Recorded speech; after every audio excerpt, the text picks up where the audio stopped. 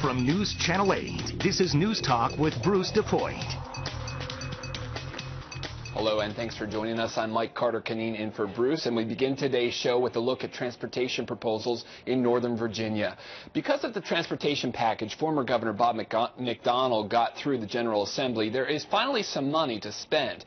Now the question is which projects should get the green light? Here to discuss the proposals, Marty Nohe, chairman of the Northern Virginia Transportation Authority. He's also a member of the Prince William Board of County Supervisors. We're also joined by Nancy Heitschuh of the Northern Virginia Transportation Alliance. Welcome to you both. Good morning. Welcome. So as we start the conversation, we also want to mention we welcome your questions, your comments. Which project do you think should be a top priority in Northern Virginia for transportation leaders? Call us on our news line at 703-387-1020.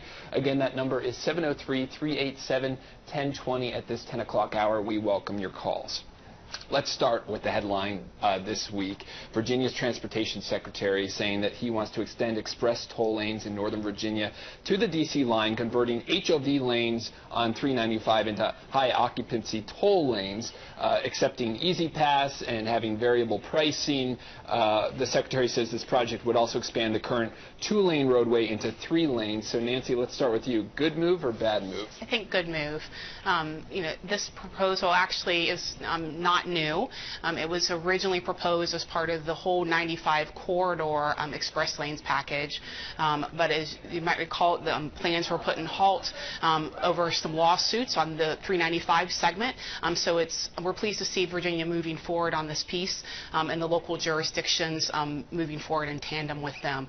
I think it will be great options, provide great options for travelers through that corridor, the additional third lane, as we've seen on 95 and on the 495 with the express lanes, not only um, provides a reliable um, travel time for those users on the express lanes, but also it's improved travel time in the general purpose lanes. So I think it's a win-win for all in the corridor. Marty, Nancy mentioned the lawsuits. Uh, that this similar plan was, was halted years ago after Arlington County right.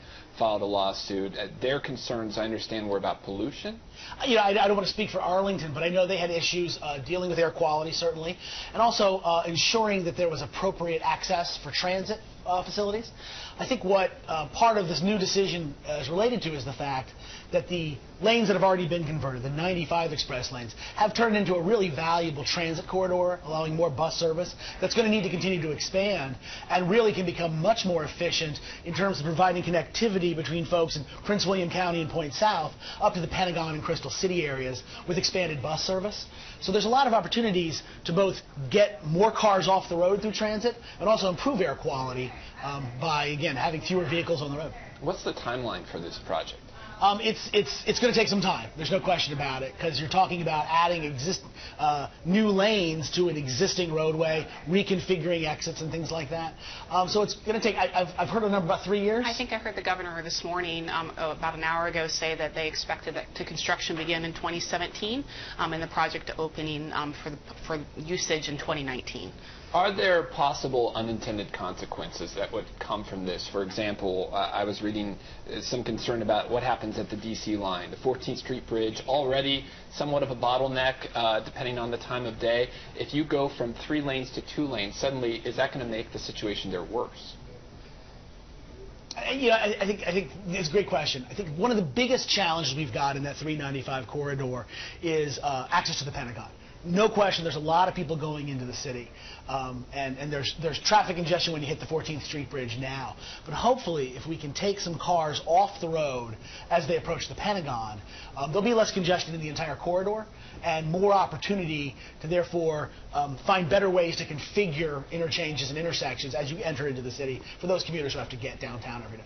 Let's talk big picture while we have you both here today. Uh, the Northern, Northern, Virginia Transportation Authority, NVTA, mm-hmm. released a survey of local drivers' views on transportation. No big surprise. Nothing. The number one issue that drivers are concerned about is reducing trip times, right. uh, followed by making transportation services more affordable.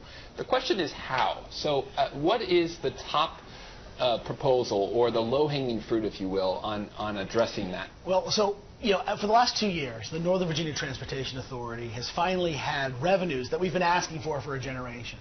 Um, millions of dollars of money that can be invested in transportation exclusively in Northern Virginia. That's a really big deal. It's an absolute game changer.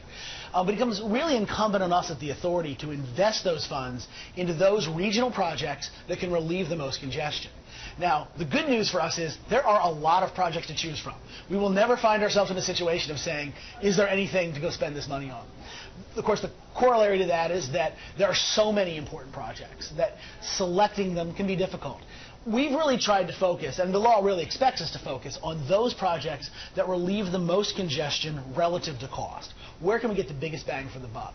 So far, some top priorities for us have been the Route 28 corridor, you know, which is a road that runs from western Prince William County through Manassas, Manassas Park, eastern Prince William County into um, Fairfax and Loudoun. You got a lot of lot of different jurisdictions at play there, um, and there's a lot of demand for improvements to that road. Route 1 in both Fairfax, Prince William, and uh, the town of Dumfries. Again, another corridor where we're making some very serious investments because we know that we can get more asphalt on the ground, get more lane miles opened up very, very quickly. So those projects, when you're talking about those investments mm-hmm. for 28 and Route 1, does that mean just widening the roadway? Well, not just widening. It's a great question. So certainly add more lanes, but also add more uh, pedestrian and bicycle connectivity. Um, particularly on Route 1 and on sections of Route 28, that road is not just a commuter corridor. It's also hometown Main Street. It's where people go to do their shopping, take their kids to school. Um, and all of this needs to be done with the understanding that we will never be able to put in enough lane miles to handle all of the traffic congestion in Northern Virginia. We have to open up commuter options along all of our major corridors. And we have to recognize that like roads like Route 1, you know, go hand in hand with what's going on in I-95. Route 28 has to be part of a bigger system that involves I-66. So looking at interstates, secondary roads, uh, commuter options for transit, a bicycle, pedestrian, and putting all those pieces together to have a more comprehensive transportation system.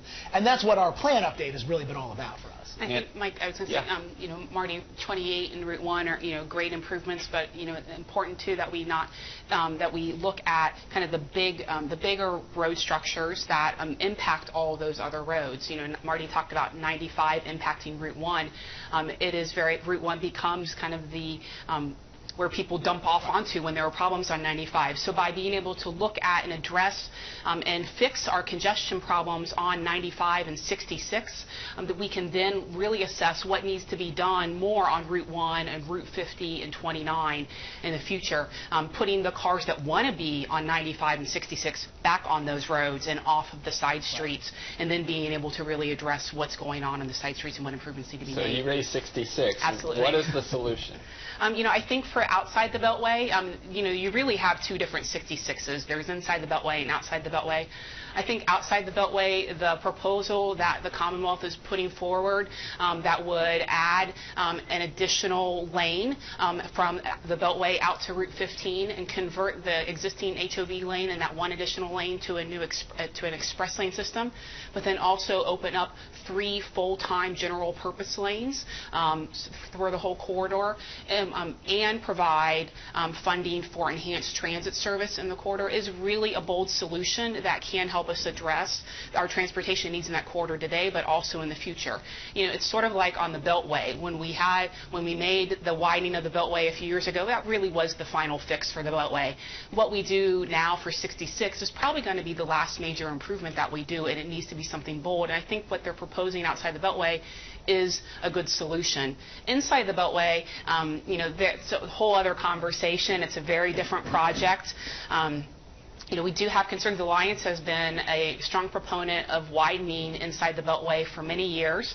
I think anybody who drives on that roadway or even sits on the Orange Line trains that go through that corridor can see that the need is obvious. Um, the proposal that the McAuliffe administration has put forward, you know, I think um, it's probably the um, important uh, critical weakness of it is that it assumes that all the traffic congestion on 66 inside the Beltway happens during the rush hour time period, when in fact the worst congestion, congestion actually occurs on the weekends and the evening and in those off-peak hours. And the proposal they're putting forward doesn't necessarily address that. Um, so there are a lot of details to still be seen on that.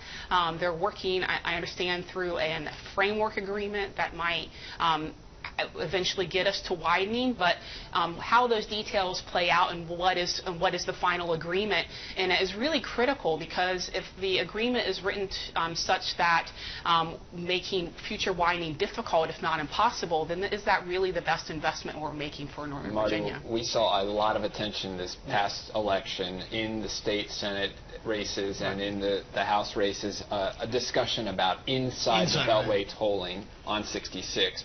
And obviously the Republicans maintain control of the House and the Senate. Does that mean that part of the administration's proposal is dead? Well, I don't know. You know, that, that remains to be seen, I think. I think there is general agreement in the region that something needs to be done on inside the Beltway. Um, I think there are some very divergent views on what the right solution for inside the Beltway is. Um, but I think when you hear folks, you know, the Republican delegates and senators saying they were opposed to the tolling inside the Beltway, I don't think what you heard was opposition to changes to how inside the Beltway operates. I think it was more of a devil's in the details type situation. And what I've heard so far is that the administration does have some openness to you know some, some dialogue on this and figuring out how to address that problem. Uh, because whatever we do outside the Beltway eventually ends when you get to the Beltway, right? So you're going to have to have some things that tie the outside the Beltway improvements into that inner area. And of course, 66 inside the Beltway ends at 395, which we just talked about is getting its own toll lane improvements. So again, we have to look at the whole thing as a network. And um, I'm sort of blessed in this regard at the, at the Transportation Authority. The Inside the Beltway project isn't our project, so I get to sit back and watch other people argue about it. Marty Nohe, Nancy Heitschuh, thank you so much. We'll take a quick break right here. Back with more News Talk right after this.